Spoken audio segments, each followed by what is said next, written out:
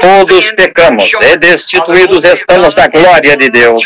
E Deus, através do seu Filho, nos perdoou esta culpa de iniquidade e pecado.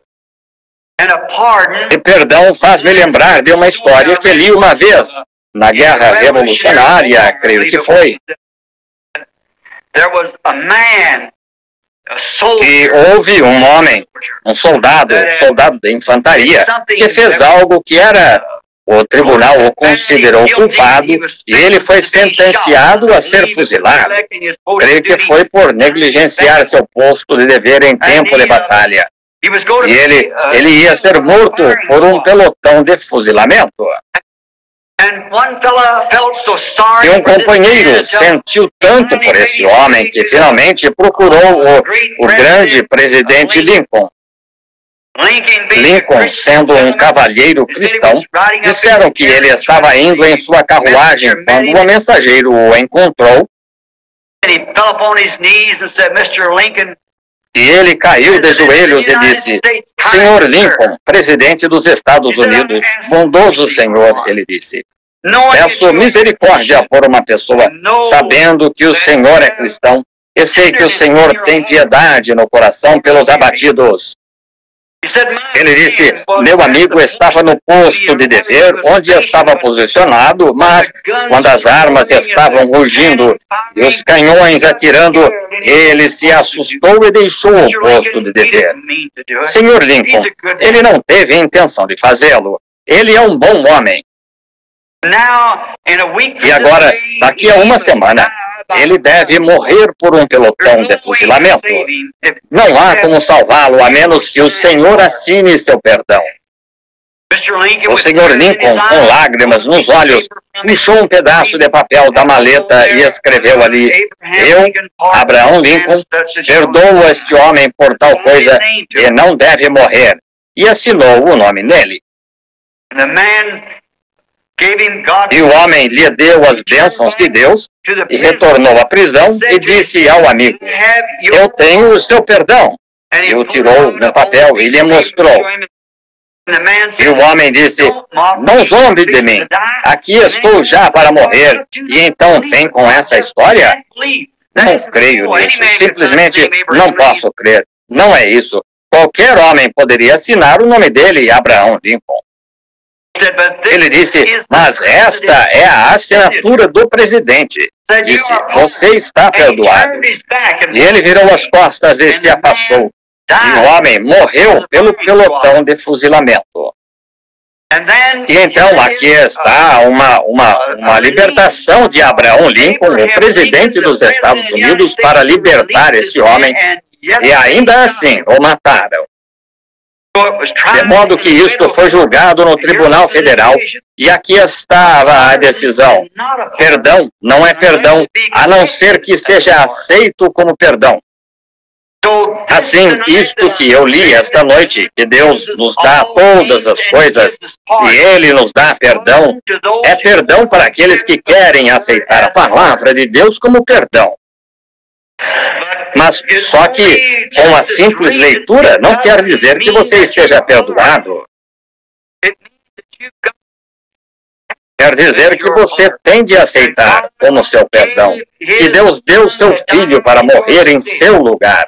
E então é perdão. Liberto da culpa. É o que desejamos salientar quanto a isso. Um perdão de Deus é uma libertação da culpa não o distanciamento por uma doutrina filosófica de algum tipo que possa, de alguma maneira, lhe dar um sentimentozinho de que você fez o que é certo, afiliando-se à igreja ou aceitando algum credo.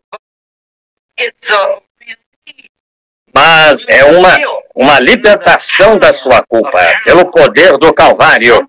Algo o libertou. Não há mais culpa. A Bíblia diz, creio que em Romanos 5:1, portanto, agora nenhuma condenação há para os que estão em Cristo Jesus, que não andam segundo a carne, mas segundo o Espírito. Agora, um homem, quando ele é liberto do pecado, um homem ou uma mulher, não há mais desejo em seu coração de andar atrás das coisas do mundo. Ele é gratuitamente perdoado e se torna nova criatura em Cristo Jesus. E suas afeições estão colocadas nas coisas que estão de cima, onde Cristo se senta à destra de Deus. Ele foi gratuitamente liberto. Ele não tem de ter algum sacerdote que lhe diga, ou algum ministro que lhe diga isso.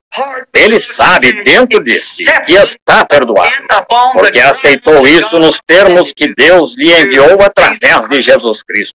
Que sentimento é estar livre do pecado? Contaram-me que quando a emancipação da proclamação foi assinada para os escravos do Sul, muitos anos atrás, que o tempo combinado em que eles seriam livres foi ao nascer do sol numa certa manhã.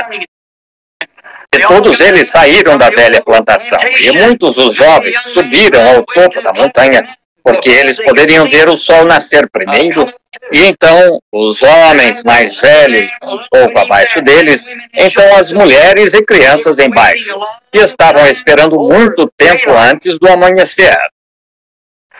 Porque cintos de escravos, árduas provas, tinham marcado a vida deles com tristeza e ansiavam por esse dia no qual eles sabiam que estariam perdoados e a proclamação da emancipação disse: Neste certo dia, ao nascer do sol, eles serão livres. E eles ansiavam ver essa hora quando o sol nasceria, tão ansiosos que subiram nas montanhas. Oh, se os pecadores esta noite pudessem apenas estar ansiosos assim, para saber que vocês estão perdoados, vocês são perdoados no minuto em que aceitam Jesus Cristo como seu Salvador. Então, vocês estão perdoados. Disseram que os jovens esperaram, e tão logo o sol começou a brilhar no leste, eles gritaram aos mais velhos embaixo: Estamos livres! E os mais velhos embaixo, as mulheres e crianças: Estamos livres! Estamos livres! porque o sol tinha nascido. Oh, quando o homem tinha se vendido ao pecado e quando o Filho de Deus surgiu do sepulcro aquela manhã para nossa justificação, eu penso que devia haver um grito de lado a lado das nações. Estamos livres do pecado e vergonha, gratuitamente perdoados pelos vínculos do Calvário. Nenhuma coisa maior poderia ser dado à raça humana. Quando o homem pecou no jardim do Éden, ele cruzou um grande abismo, separando-se do eterno. O homem, naquela época, era eterno com Deus. Ele não tinha enfermidade, tristeza ou morte. O homem não foi feito para morrer. O inferno não foi feito para o homem. O inferno foi criado para o diabo e seus anjos e não para a humanidade, porque eles foram criados na terra para serem filhos e filhas de Deus.